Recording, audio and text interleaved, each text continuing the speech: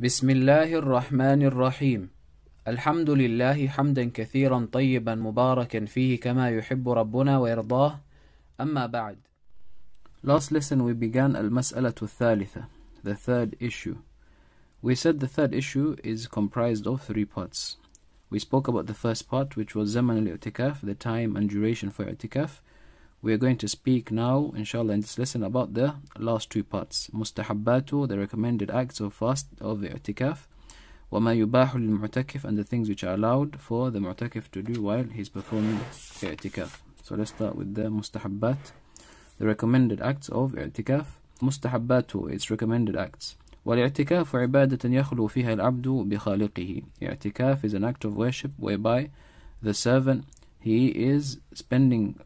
some alone time with his creator he is alone with his creator ويقطع العلائق عما سواه and he cuts ties with everything and anything besides him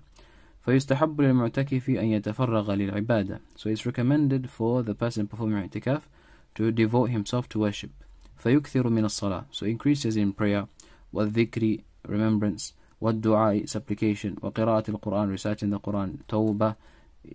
seeking repentance والاستغفار asking for forgiveness ونحو ذلك and so on من الطاعات التي تقربه إلى الله from acts of worship which will draw him closer to Allah so the objective of performing itikaf is to devote oneself to acts of worship to devote oneself and spend one's time building a closer relationship to Allah subhanahu wa ta'ala and also in pursuit of Laylatul Qadr so if a person is engaged in acts of worship throughout the 10 then he will inshallah most definitely have witnessed Laylatul Qadr while he is in the best, engaged in the best acts of worship.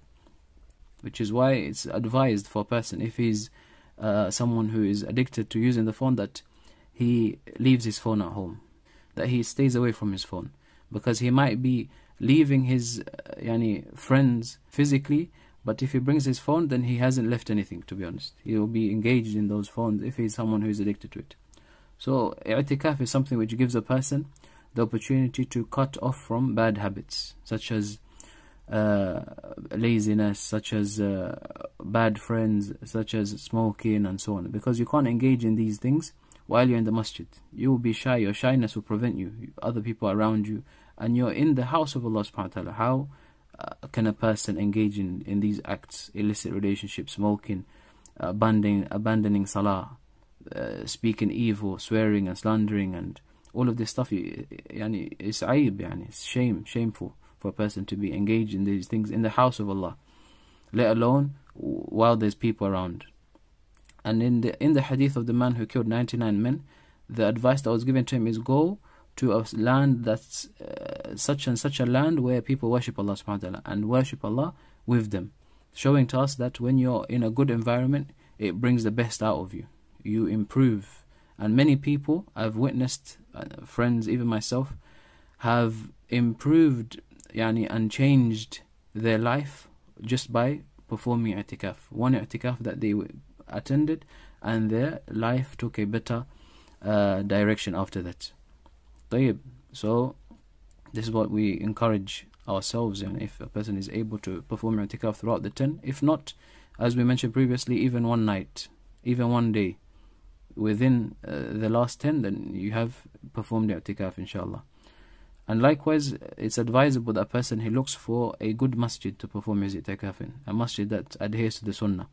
so as to avoid any innovation and any unnecessary confrontations in those masajid which are not uh, adhering to the sunnah and so on طيب, so this is the mustahabbat that a person he should be busy with worshipping Allah subhanahu wa ta'ala the whole point of i'tikaf is to devote oneself and strengthen one's relationship with his Lord. ما يباح للمعتكف those things which are allowed for the mu'takif to engage in. And the point of this section is to clear misconception, mis any misconceptions that people might have. Because some people, they might assume that if you're performing i'tikaf, khalas, you can't talk to anyone, you can't leave the masjid at all, you're yani, in uh, solitary confinement, khalas. You can't go anywhere, you can't do anything. So the point of this is to clear these misconceptions. The authors say, ويباح للمعتكف الخروج من المسجد لما لا بد منه. It's permissible for the mu'takif to leave the masjid for things which they have to for necessary if there's a necessary need to leave the masjid then you're allowed to leave the masjid كالخروج للأكل والشرب such as leaving the masjid in order to eat or drink if the food is not served in the masjid uh, they only serve it outside then you can leave to go and eat and drink إذا لم يكن له من يحضرهما especially if you don't have someone to bring you food some people they don't have anyone to bring them food in the masjid so they have to leave in order to buy or eat food outside طيب so if the masjid doesn't allow people to eat inside the masjid they should really most masajid uh, yani, do allow people to have food in the masjid but if you have to leave for food and drink because this is something which is necessary then you're allowed to leave والخروج لقضاء الحاجة and to leave the masjid in order to uh, relieve your need toilet needs والوضوء من الحدث and to perform wudu from the minor ritual impurity والاغتسال من الجنابة and to have a shower from the sexual impurity or major impurity so you're allowed to leave if there's a need if there's no need you have to remain in the masjid and the word to highlight here if there's a need if it's necessary then you can leave an example of that also something which is necessary is if a person is performing i'tikaf in a masjid which establishes the five obligatory prayers but it doesn't establish the Jum'ah, then you're allowed on Fridays if you're in i'tikaf to go to another masjid to fulfill the Jum'ah prayers in that masjid because it's wajib for a man to observe Jum'ah. If it's a woman then it's not wajib upon her. Likewise they said that uh, some of the scholars they mentioned that you can't even leave to go and visit the sick person or to witness the janazah because these things are communal obligation it's not wajib upon you as an individual. This is why Aisha radiallahu anha when she was in i'tikaf as uh, reported by Bukhari and Muslim she used to go tend to her needs and then return. And sometimes when she was returning she would go past the house knowing that there's a sick person there. She wouldn't stop. She would just be uh, while she's walking back to the masjid, she would re- inquire about their condition, ask about them while she's walking. She wouldn't stop to have a uh, speak and have a conversation. So you're only allowed to leave the masjid if it's necessary. If it's not necessary, you have to um, remain in the masjid. ويباح له التحدث إلى الناس فيما يفيد and it's also permissible for a mu'takif to speak to others in things which have, are of benefit والسؤال عن أحوالهم and to ask about them, their condition أما التحدث فيما لا يفيد as for speaking about things which are of no benefit وفيما لا ضرورة فيه or things which are unnecessary like dunya, work and these unnecessary things فإنه ينافي مقصود الاعتكاف then these go against the whole objective of الاعتكاف وما شرع من أجله and that which it was legislated for which is to spend time in, de in devotion to Allah subhanahu wa ta'ala and engaging in adhkar so uh, we're human beings, we're weak. Being, uh, yani, if you have to just worship Allah subhanahu wa ta'ala uh, without uh, relaxing and so on, it's going to be difficult. As a mu'takif, you're allowed to speak, you're allowed to take some rest. You can do different acts of worship. Look, if you're if you're tired of praying, you can engage in adhkar while you're sitting down, lying down. You can listen to Quran if you can't read. Make tawbah, make istighfar. Even your sleep and your rest, you can intend that to be an act of worship. If the, the reason why you're sleeping, you're taking that rest is because you want to energize the body so that you can engage in uh, acts of worship. That itself, that time you're sleeping, you could be rewarded for it. As Ibn Mas'ud used to say, أحتسب نومتي كما أحتسب قومتي. I uh, seek reward in my sleep the same way I seek reward in my standing in prayer. So a person should be uh, yani, looking for the best intentions in the things that he does. So if a person is tired reading, he should recite the Quran. If he is tired reciting, read a book or listen to something beneficial or speak to someone uh, matters that are beneficial. Uh, so you vary the acts of worship uh, to suit yourself so that you're not you don't become bored and and uh, leave off acts of worship. So you're allowed to speak. You're allowed to speak but these things should be things which are necessary and of benefit طيب ويباح له أن يزوره بعض أهله وأقاربه and it's also permissible for his family and relatives to visit him while he's in i'tikaf